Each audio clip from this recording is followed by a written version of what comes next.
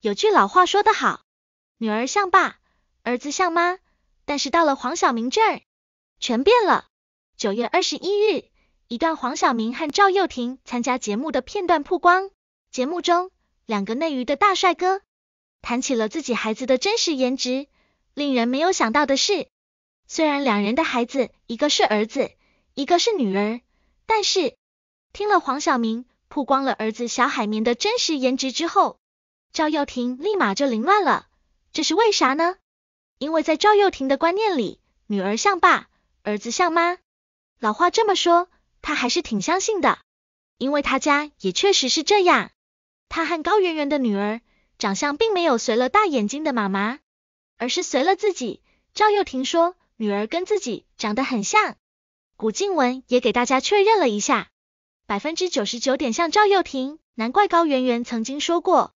女儿就是扎辫子的赵又廷，不过赵又廷无奈的说：“我多么希望她像她妈妈。”足见在赵又廷眼里，自己老婆就是最美的。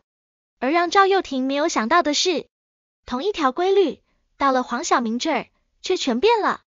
黄晓明高调表示，儿子长得很像自己，但是性格像杨颖，自己小时候会乖到别人误以为自己是个女孩，但是。小海绵却皮的都快上了天了。听黄晓明这言外之意，杨颖生活中是个很皮的人啊。没想到女神还有如此不一样的一面。不过，通过黄晓明和杨颖平时带娃的爆料视频，也可以看出小海绵确实挺皮的，喜欢坐在行李箱上玩，有一次还直接摔了个大跟头。不过，孩子皮归皮，但是还是挺勇敢的，摔倒了就爬起来。不哭不闹不喊疼，足见黄晓明对孩子的教育还是挺到位的，会疼爱但是不溺爱。而赵又廷虽然很希望女儿长得像老婆，但是生活中对女儿却十分宠爱。一个大男人照顾女儿时细心又周到，小推车伺候着，水壶立马奉上。难怪女儿看到爸爸妈妈来接她时，第一反应是直接扑倒了爸爸的怀里。足见父女俩的感情有多好。网友们听了两人的对话，纷纷表示，要不赵又廷和高圆圆再生个儿子吧？继承妈妈的美貌，拥有同款烦恼的还有陈建斌，儿子完全长成了陈建斌二点零。我家儿子像爸，女儿像妈，恭喜您儿女双全。赵又廷的表情太逗了，就是好遗憾，好遗憾的感觉。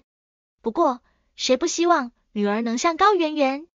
还有网友表示，其实娱乐圈女儿像爸的还挺多的，比如王菲李亚鹏的女儿李嫣，跟李亚鹏就是复制粘贴一般。不过黄晓明最后还给了赵又廷一丝希望，孩子可能长着长着就像妈妈了，小朋友会变的。